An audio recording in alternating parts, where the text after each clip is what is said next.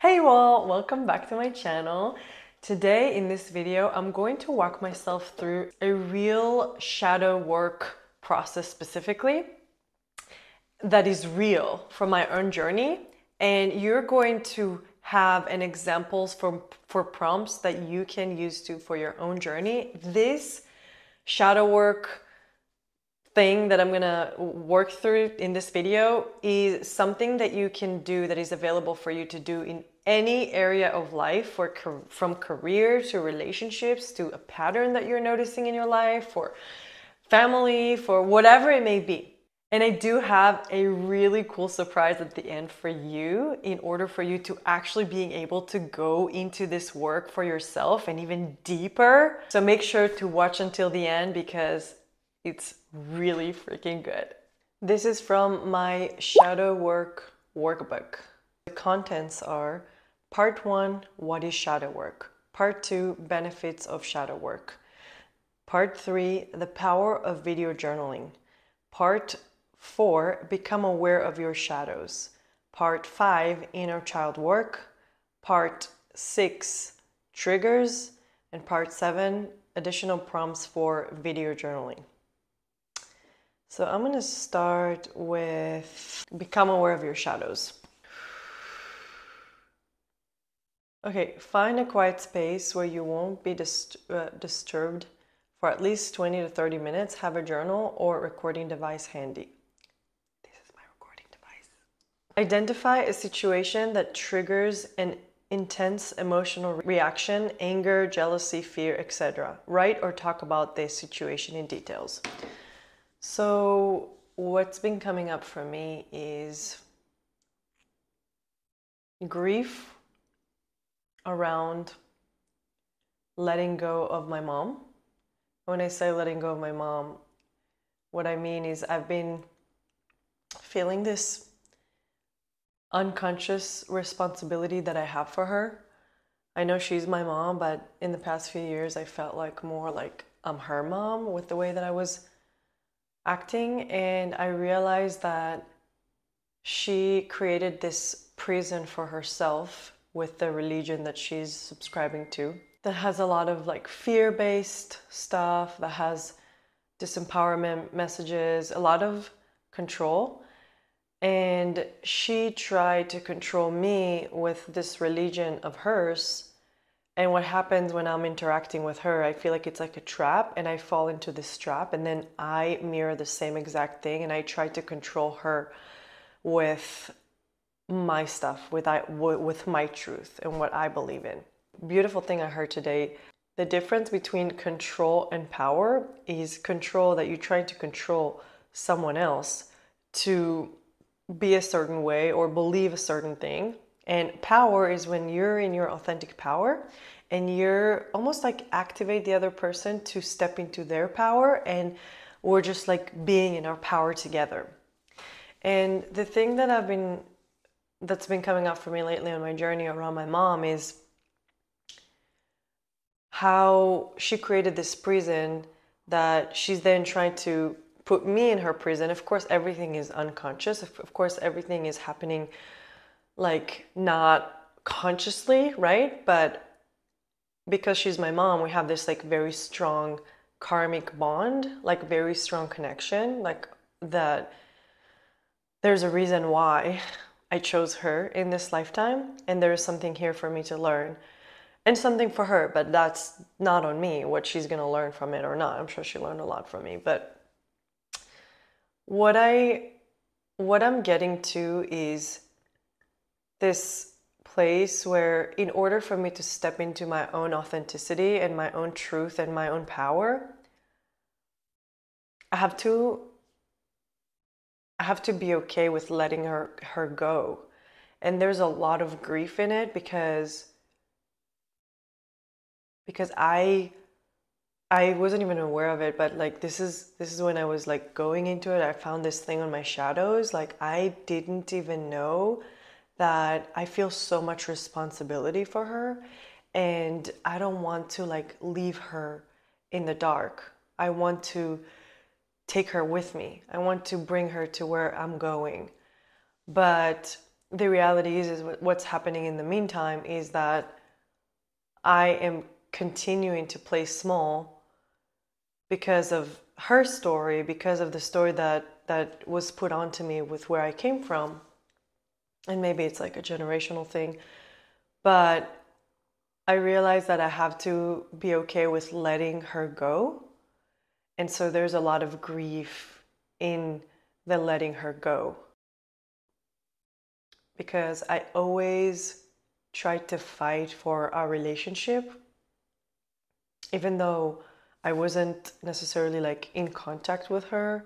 You know, like obviously growing up, we were very like we butt heads a lot and we didn't get along to say the least. And what I realized too is that the butt, button, butting heads, it's some type of connection because butt heads, like that type of thing, it's it's still better than nothing. It's still there's some type type of connection. And I realized that me and her were so similar and there was like such a huge mirror. Like when she does what she does, I go into doing what she does exactly, but totally like the opposite, like in a totally different way. And so I'm learning that and there's a lot of grief in like letting her go and like just giving up of being responsible for her because yes she's my mom but i've been acting as if it's like the opposite in a way because when i really connect with her i see her face i can see her inner child and i like i feel responsible i want to I want to take care of her and I want to I want to help her, but the thing is that she's not willing to receive anything from me because of where I'm at, because of she believes in something totally different. She's in a in a very extreme orthodox cult and she's not willing to take anything from me.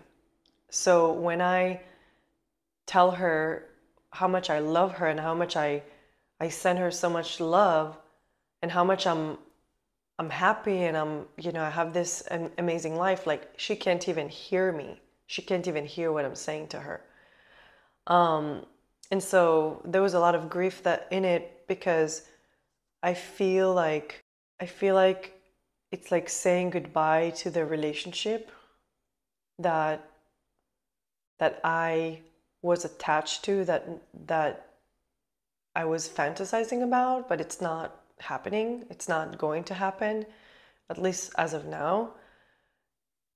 And there's a lot of grief in knowing that I'm never gonna receive what I wanted from her or what I want from her as my mom or as someone that's close to me, you know, close to my heart and someone that's really important for me. Even further from that is like realizing that I'm not going to have any relationship with her that I want now. And like knowing that the only time that I'm going to have the relationship that I was hoping to have with her is going to be after she's going to leave this world. She's going to leave her physical form. Then I'm going to be able to have a relationship with her that I'm now not able to have a relationship. So all of that brings up a lot of grief in my chest and in my throat. Ask yourself the following questions. What about this situation makes me uncomfortable? The thing that makes me uncomfortable is the letting go part. Like it's really hard to let go. Like to fully like disconnect and say, okay, this is this is not working. How do I typically react when this happens?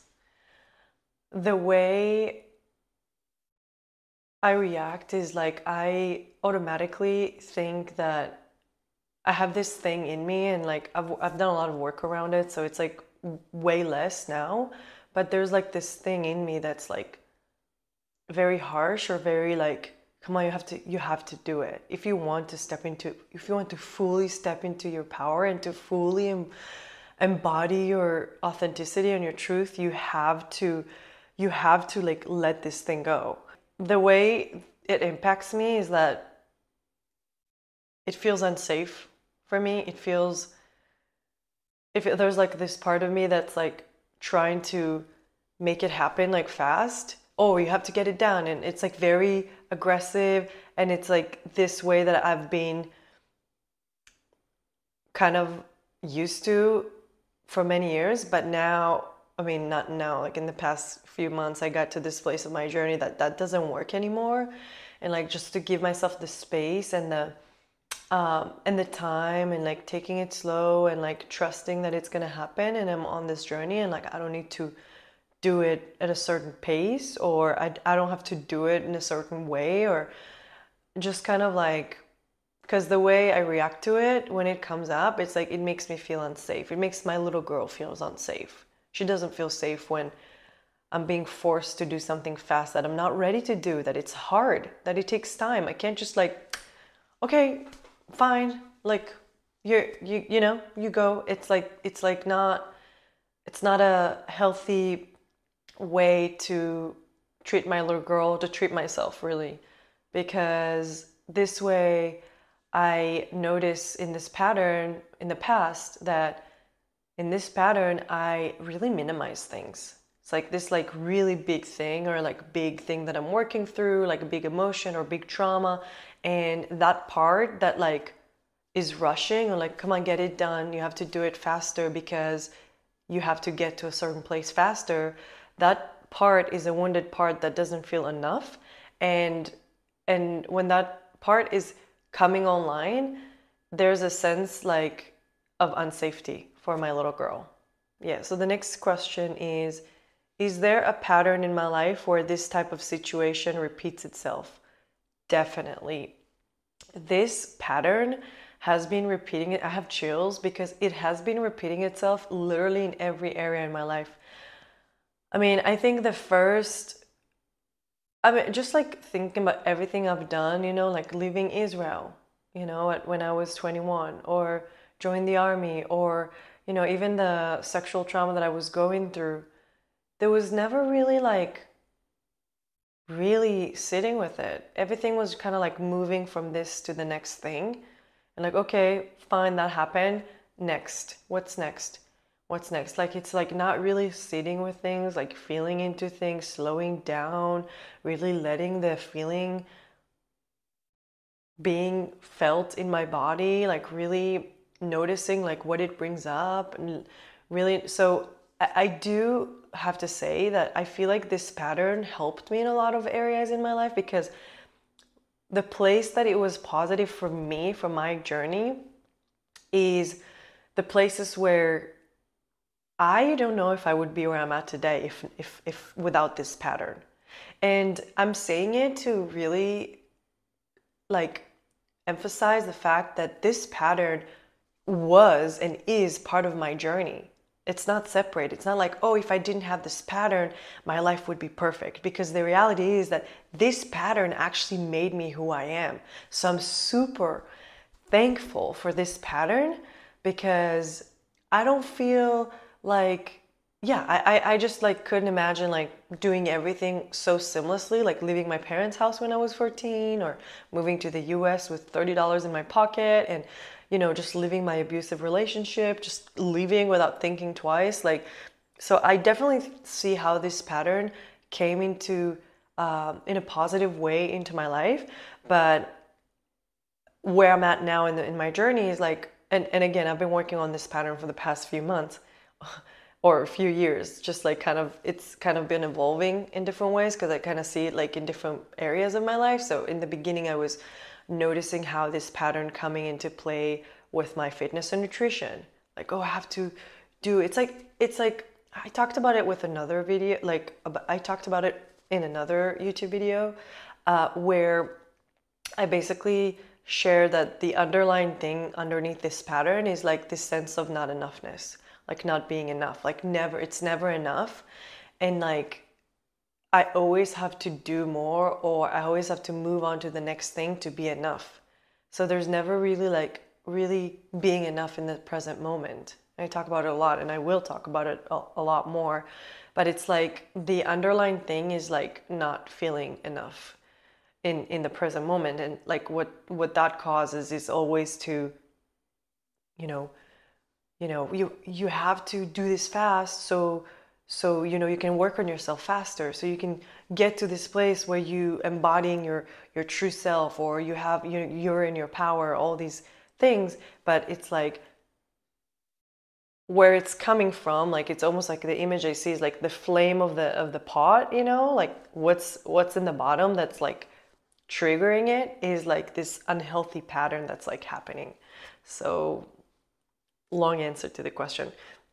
What belief do i have about myself or others that is being triggered here?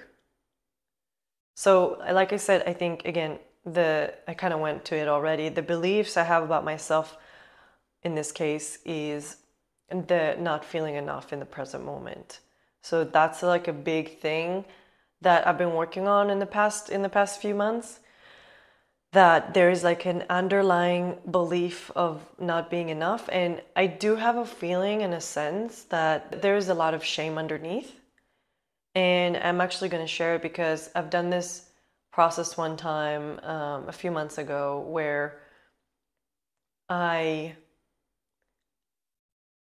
was noticing this pattern of like like this this not enoughness place that I could feel it in my stomach, like a little bit below my solar plexus. And if you know the soul, the quote unquote demon of the solar plexus is is shame, is is uh, I am bad. That's like the messages, because because the guilt, which is in the sacral chakra, is like I did something bad. So there's that relational piece. So that's like more sacral chakra, which there's that one-on-one relationships but solar plexus is my like my sense of self our identity in the world our personal power self-esteem self-worth all of that. So the the shame is the quote unquote demon of this energy center. And so i could feel the physical sensation underneath my solar plexus. And i tried to someone was actually guiding guiding me through this process and i could feel like this shame. It felt like um, like a seed of a popcorn that's like burnt. It was covered with like almost like a placenta type like texture thing that was a little bit slightly blue and inside it was black like super hard like it's burnt. And around it it looked like a, uh, the pit of apricot. The the pit of the apricot was like like around it. Actually i started from like the outside and then went to the inside and in this process, I could feel, you know, I, felt the shame. That was like the, the pit in my stomach. And in the process, this person that, like my friend that was guiding me through it, like he was kind of guiding me to, okay, now feel your heart. And what does it feel like? Or think about someone who you truly love. I thought about I thought about my niece. And I could feel my heart and it was like a blue diamond that's like pure energy that you can kind of put your hand through it and then it started with the heart was maybe at three and the pit was around seven. And then he asked me to focus on the heart and not necessarily treating the pit as if I'm trying to fix it or change it, but send love from my heart to the pit. And with the process, it was a long process, but slowly the heart was growing and growing and growing, and it got to four, six, seven, eight. And then at some point, it was like you know, it was the size of like around like my aura, like my body, and then eventually got into I could I couldn't feel any edges to to my heart and it was like all the rainbows of colors and it felt like a sacred geometry and like I could I couldn't see I couldn't feel like the edges meaning I was part of the universal unconditional love. Uh, and then slowly the the shame was like going smaller and smaller and smaller until it became like the actual seed became a like a smoke. It was like like dark gray smoke and then it turned to like white smoke. And then the smoke transmuted into a flower. And what was coming up earlier was that this shame was something that was like literally was transferred to me in in my mother's womb. Like that that was coming from my mother which makes sense because i always felt like there's there's a lot of shame you know in, in the way that she became religious and you know, I do feel a lot of like a lot of people that become religious, especially if it's like so extreme. Most of the times, not always, but most of the times, it comes from a, a, a deep place of, of shame. Like, I've, I've done something bad. I need to fix myself. I need to be different. I need to please God. And I need to, you know, to do all these things. So that's coming from a place of shame. And so I don't know how far back it goes. I believe it is a generational thing that's been kind of passed down from generations to generations. But again, like the awareness is number one. Like that's the first step. And so if someone doesn't have even the awareness of like what's actually happening in, in themselves and like what is going on within their inner world, like they can't really work with any of these things. Because number one thing is you have to be aware of what's happening. So I was kind of realizing like, oh, the way I approach my work or the way the way I approach a lot of situation is f- from that place of shame. Because instead of having my personal power, is that place of shame that I've been carrying that's not even mine. That's like being passed down to me.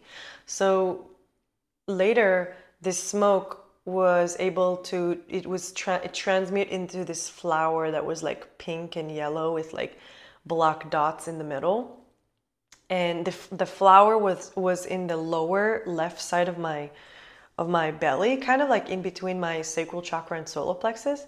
And i asked the flower like how can i support you? And i felt like the flower wanted me to help to help it to come come up to my and sit like this like straight up to my solar plexus.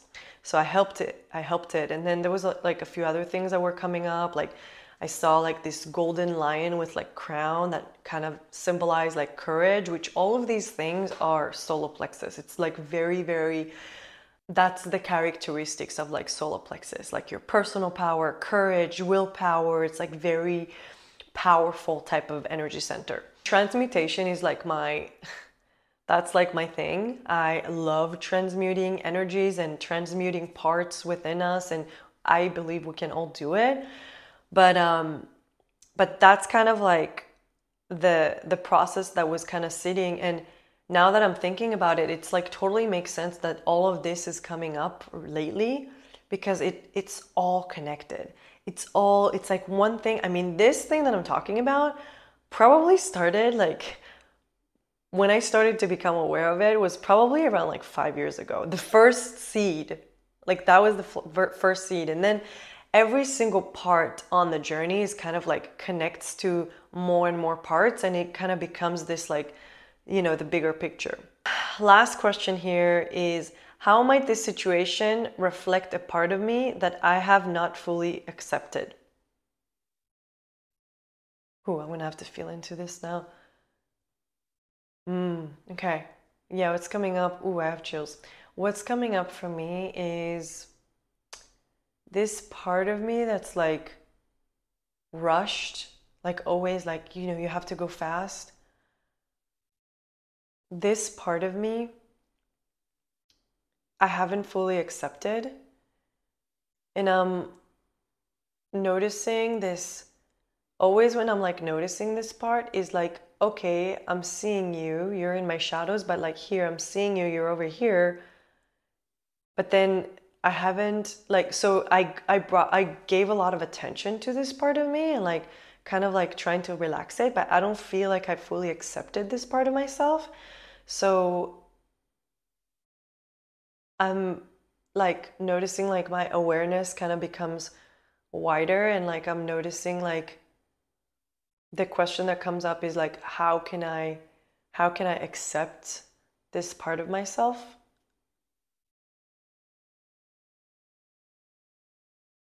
How can I accept this part of myself?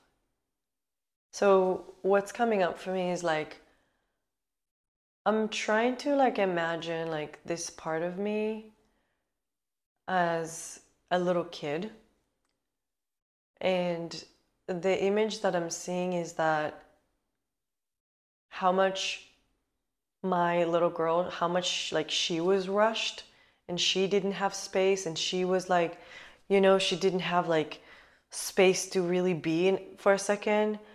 So I can really see this image of like how this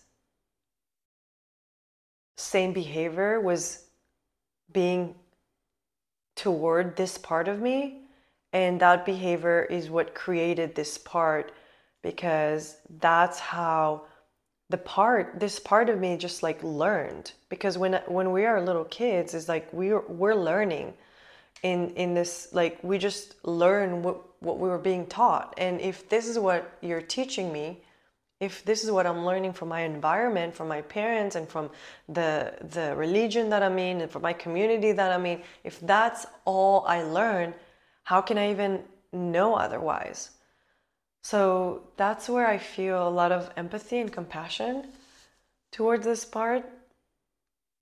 And I'm just like seeing this like little girl that's like being so like rushed and what's coming up for me is just like sitting down with her, like sitting in front of her, looking into her eyes, holding her hands and just breathing with her.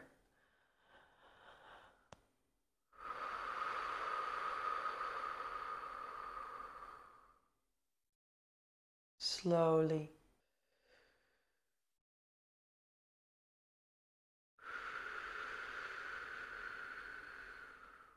Yeah, so like what's coming up is slowing down, like really take her hands and slow down with her and breathe with her. I'm not doing it to trying to fix or change that part, but but to hold a container for this part to just like it's okay. We're here. It's okay.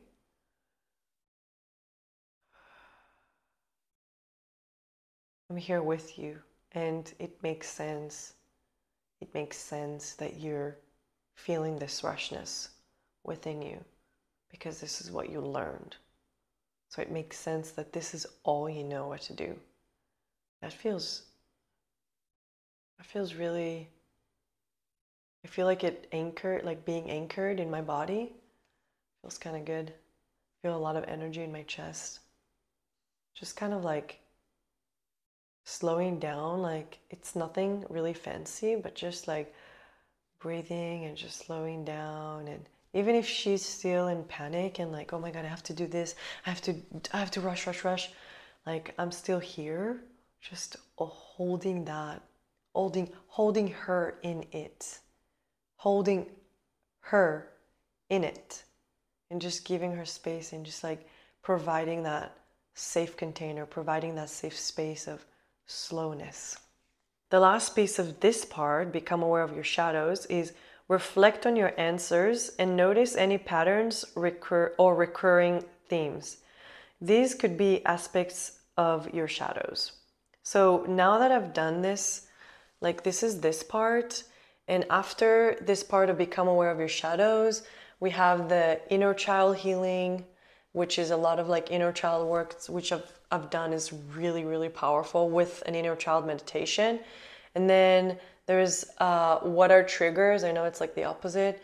Uh, and then trigger exploration exercise, like how to work with triggers, because the way I like to look at triggers is really, really powerful. Triggers are really like a gold. If we know how to like take them and, you know, like transform them, it's amazing.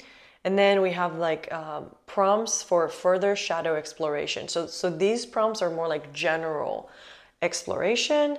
And then we have like the checklist of the shadow work workbook checklist. There's a little bit surprise at the end. So this is the um, shadow work workbook.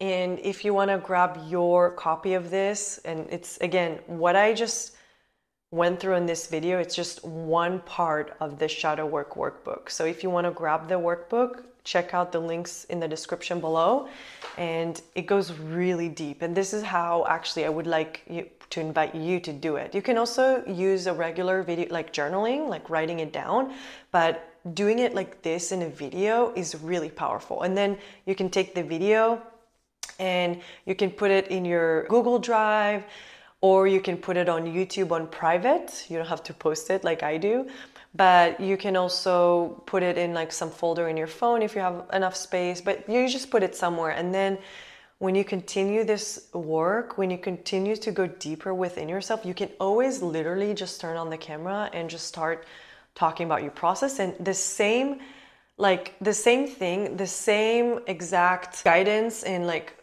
steps, you can use it for a lot of different different things that are coming up in your life. So now, you know, this is what I was working with, and another time I can do the exact same thing, exact same like steps, totally different area in my life.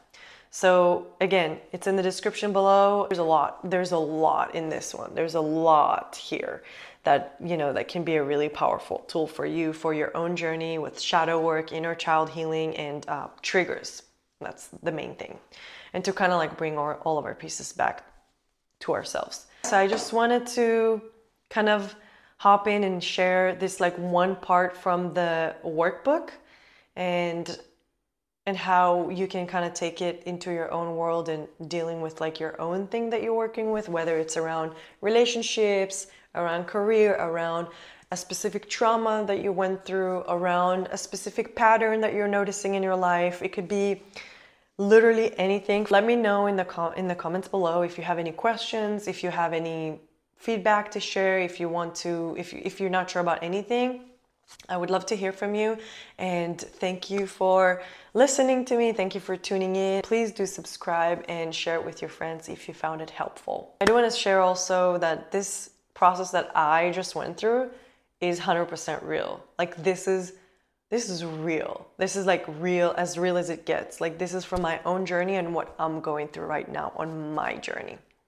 There is a lot that is still forming, but I am acknowledging and realizing like the fact of that taking it slow and letting myself trust the process that is already happening, that I'm already in it, slowing down